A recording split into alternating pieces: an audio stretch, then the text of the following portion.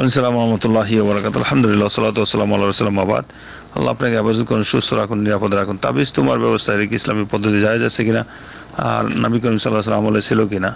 জি না এটা ইসলামী পদ্ধতিও জায়েজ নেই নবী করিম সাল্লাহ সাল্লাম আল্লাহ এই পদ্ধতিও ছিল না। এগুলি হলো শিরকি পন্থা, এগুলি বেদাত পন্থা। নবী করিম সাল্লাহ সাল্লাম সেরেক বেদাত থেকে মানুষকে যথেষ্ট পরিমাণ সতর্ক করছেন, নিজে সতর্ক করছেন বারবার খুদবাতে এবং সেরেক বেদাতে থেকে বাঁচার জন্য জাতিকে, বাঁচানোর জন্য যান প্রাণ দিয়ে জীবন প্রাণ দিয়ে যুদ্ধ জিহাদ করে গেছেন জীবনটাই দিলেন এই পথে ব্যয় করে।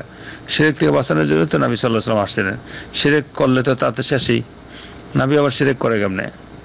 সমস্ত নবীগণদের সেরেক থেকে দূরে ছিলেন। এটা সিরকি পন্থা নাবি করিম সাল্লাহ হাদিসের মধ্যে বলে গেছেন না, এটা আল্লাহ রসুল আমলে ছিল না সাহবাহিক রামের আমলে ছিল না তাবিন্দের আমলে ছিল।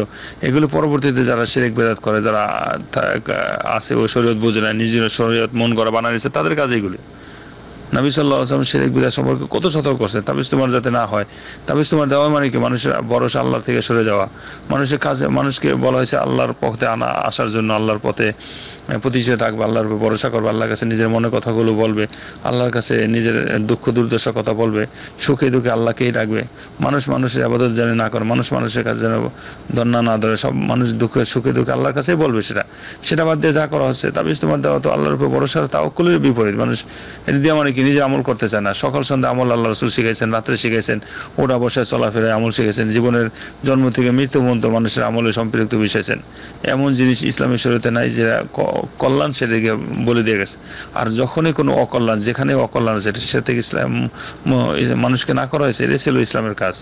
শুনতে, তাবিজ দেওয়া ওখানে কি হবে? তাবিজ দেওয়া তাবিজ তো দেওয়ার কথা না, পড়ার কথা বলেছে, আমল করার কথা বলেছে। মানুষের নিজে আমল না করে নগদে চাচ্ছে এই পারফেক্টে যেগুলি ইসলামী শরীয়তে বৈধ নয়, সেগুলি করে তারা।